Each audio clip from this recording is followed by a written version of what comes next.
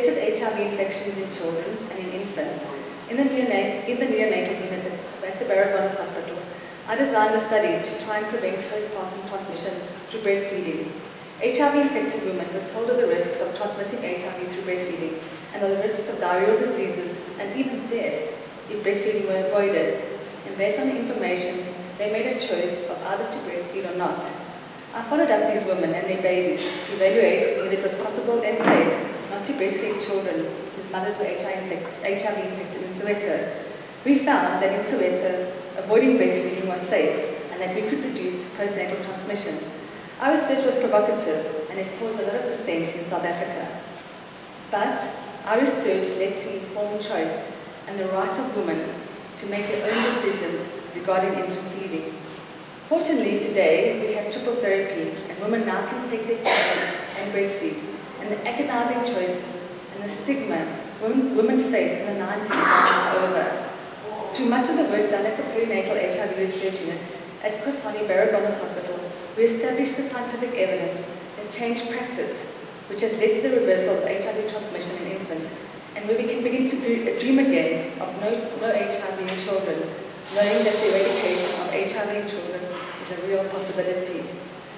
The clinical research we did in our research unit the Hani Baragwanath Hospital also demonstrated that early initiation of treatment in HIV-infected children reduced deaths in children by two-thirds.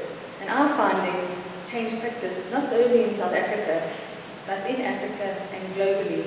And now every child uh, who's born with HIV um, is put rapidly onto treatment, and this is all because of a study done in Soweto at Chris Hani Baragwanath Hospital. For more than seven years, in seven years.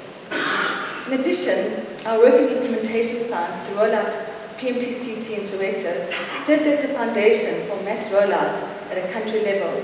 The rollout of PMTCT is making the elimination of pediatric HIV plausible. When I first started treating children in South Africa with antiretrovirals, I saw them leave the hospitals, go to school, get their matric, go to universities, and get their degrees. And that is a wonderful thing to see. Some of my colleagues here, including Laurent Mahabi that's sitting there, she should just wave. In 2003, with, the, with, with funding, uh, put a thousand people onto treatment in nine months. And this kind of dedication, taking the science that you learn in the clinic and rolling it out, uh, is testament to the kind of work that Sowetan, that we did in Soweto and what, and what Wits doctors do uh, that they take their research findings and they roll it out and they make huge differences to people um, at, a, at, a, at, a, community level and at a country level. So I do, I do want to acknowledge the, the clinical doctors that are here who have done amazing work um, in Soweto um, around antiretroviral therapy. But I do digress, and let me get back to my story. Before the rollout of ARVs and before PMTCT interventions were available, Circumstances in the late 90s and early 2000s were very difficult, and with AIDS denialism, giving AZT to pregnant women became a subversive activity in South Africa, and our doctors were under threat from the state. We saw PEP, we saw PEP demonstration sites, uh, demonstration sites. PEP is uh, post-exposure prophylaxis, and we give it to, to women who've been exposed, uh, who've been raped, and to try and prevent HIV. We saw PEP demonstration sites closed down, and a doctor losing his job giving PEP for victims of rape. We saw ambulances being turned around from hospitals refusing to give women who were HIV infected Nevirapine while they were in labor. At that stage, there were many heroes and warriors, I think we probably heard about them um, um, two days ago, that changed our local landscape. And, this, and most notable of them was, was the Treatment Action Campaign, who lobbied for treatment access and through winning a landmark constitutional court case, the National Department of Health was instructed to begin providing mother-to-child transmission interventions for HIV-infected women. Now, I don't know if any of you can remember those times and how wonderful it was um, after that landmark court case to, to start to roll out antiretroviral therapy to, to women who were HIV infected and pregnant. At the same time, Nkosi Johnson, who was a child he was infected and he was, he was, he was public with his HIV status. And he became the voice of HIV, uh, the voice of children with HIV. And he highlighted the severe stigma and discrimination facing children as they navigated school entrance as their mothers hit their diagnoses, their mothers faced alienation from their communities and were discarded by loved ones as they died. Nkosi, the the public figure, was able to share what it was like to be infected, to live with HIV, and what it was like to be at his mother's funeral and how much he missed her.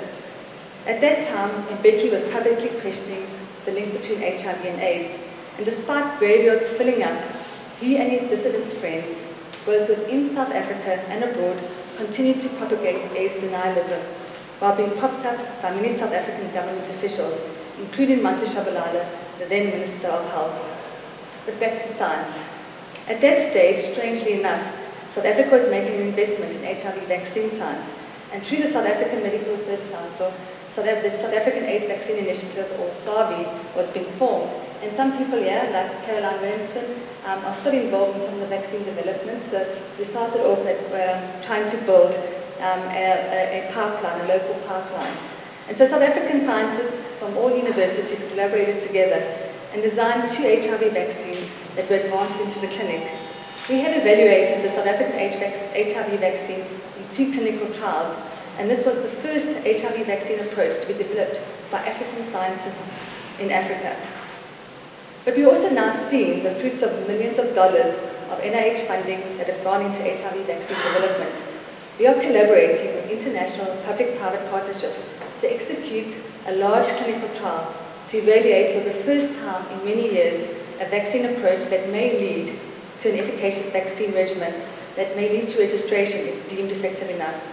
This trial, the HVTN 702, was launched this week and will enroll 5,400 18 to 35 year olds.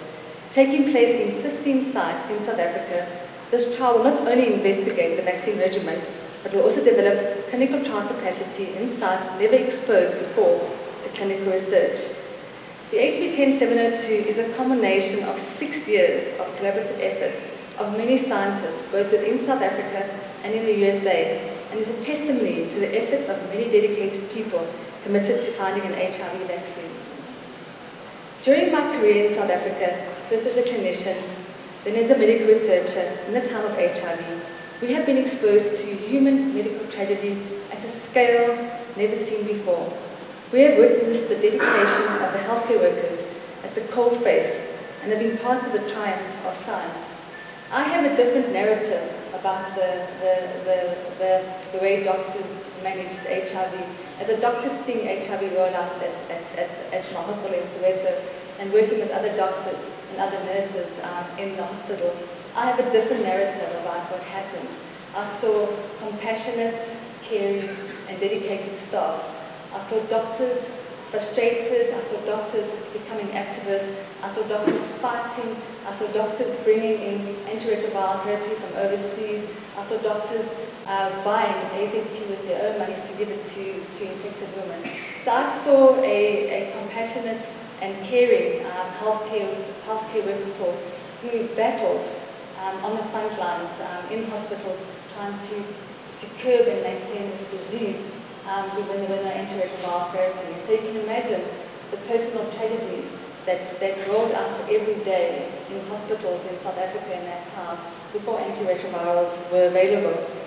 And so it's been amazing for me to be part of the most profound medical life-saving advances in medical history ever, and that is antiretroviral therapy. Antiretroviral therapy has saved more lives in such a short space of time than any other innovation.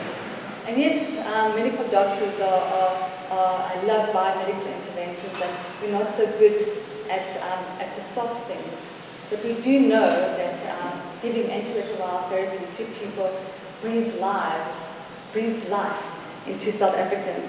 And so there's been such joy being involved as an investigator, um, doing science um, in South Africa and seeing the science uh, make a difference to, to men and women. It's, it's been such a joy to be part of, um, of the science um, in HIV and, and, and part of the science in, in, in treatment and in mother-to-child transmission. And I'm very proud to be part of the, of the science that has helped breathe life into South Africans. And I'm going to end to say that all this progress that we've seen with antiretrovirals and with um, almost eliminating pediatric HIV, I do hope that an HIV vaccine will be added to some of our trials that we've seen in South Africa. So thank you very much.